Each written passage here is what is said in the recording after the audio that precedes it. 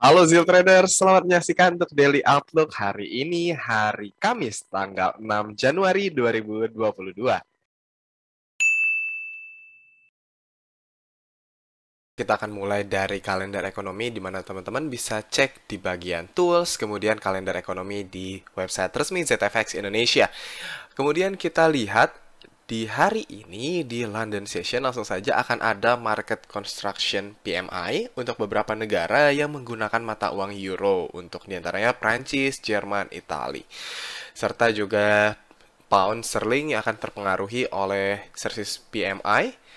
Lalu ada di New York Session nanti akan ada CPI dari Jerman dan juga trade balance dari Kanada dan juga USD. Serta diakhiri hari ini dengan jam 22 nanti akan ada non-manufacturing PMI yang semuanya akan mempengaruhi dari mata uang USD.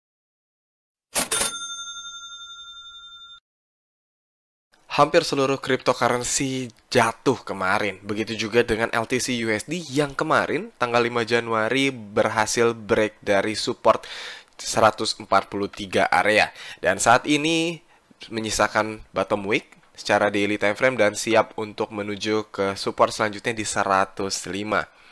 Jadi memang sudah terlihat dengan jelas kemarin sempat ranging dengan kecenderungan lebih bearish dan dia sudah uh, retest dan juga mereject dari key level yang sebelum menjadi support dan kini menjadi resistant dan kemarin sudah berhasil break.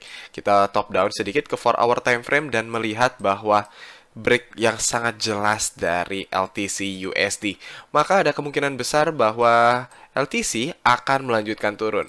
Namun dia mungkin saja akan retest naik untuk melanjutkan penurunannya hingga ke support selanjutnya di 105 secara daily time frame.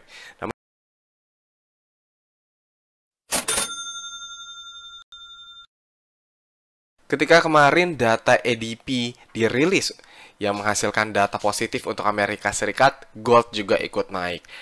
Nah, hingga mencapai ke resistance area yang seperti kita bahas sebelumnya di sekitar 1830. Dan ternyata mereject kembali dari 1830 yang ternyata menjadi resistance kuat dan bahkan ditutup bearish untuk XAUUSD atau gold. Dan hari ini diawali dengan dari Asia Session, dia sudah break dari previous daily low yang siap artinya untuk melanjutkan penurunan menuju ke support di 1800. Namun kita akan top down sedikit ke 4 hour time frame. Di 4 hour time frame kita melihat bahwa ada kecenderungan memang harga dari XAU USD atau gold untuk bisa melanjutkan turun. Asalkan dia tidak break dari previous 4 hour high. Karena kalau seandainya di break, maka dia akan naik lagi. Namun, bagaimanapun juga dari 4 hour time frame sebelumnya, dia ditutup doji, artinya indecisive. Mengingat memang Asia Session lebih low volume, kita akan menunggu pergerakan di London dan di New York Session. Kita top down lagi ke 1 hour time frame, dan kita bisa melihat di sini ada support yang berhasil dilanggar di 1 hour time frame. Begitu juga ada mini support. Di sini ada mini support yang terlewati juga. Namun kita akan menunggu di mana kan dia akan menutup ya. Kalau seandainya dia tutup berhasil menutup di bawah 1808 atau 1809, maka gold akan turun lebih jauh menuju 1800. Dan pair yang terakhir kita bahas adalah Euro New Zealand Dollar. Pair ini terlihat dalam ranging area besar ya, dari secara daily time frame dan terlihat kemarin ditutup bullish dan hari ini dia melanjutkan bullish pergerakan bullishnya. Dan kita lihat di 4 hour time frame, di 4 hour time frame terlihat ada resisten di sini 1,67600 dan di sini ada area fake out yang mana ada bahwa ada kemungkinan besar area ini adalah menjadi head dan area resisten ini adalah menjadi shoulder. Jadi di sini ada left shoulder, di sini ada neckline, di sini ada head, neckline dan di sini kemungkinan adalah area sell. Di sini adalah red shoulder untuk melanjutkan penurunan kembali dari euro New Zealand dollar.